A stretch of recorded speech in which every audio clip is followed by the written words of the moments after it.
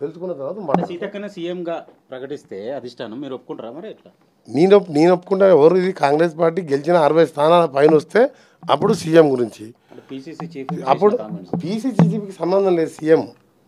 CM PCC president సంబంధం ఉండదు. గెలిచిన ఎమ్మెల్యేలని వన్ బై వన్ ఓటింగ్ ద్వారా వీడియో రికార్డింగ్ చేసుకొని ఎవరైతే మంచిగా ఉంటుందో ఖర్గే గారు రాహుల్ సోనియా ప్రియాంక ఇంకా ముఖ్య నాయకులు దళితుడా గిరిజనుడా ఓబీసీనా అదర్ క్యాస్ట్లకు ఇవ్వాలని వాళ్ళు నిర్ణయిస్తారు.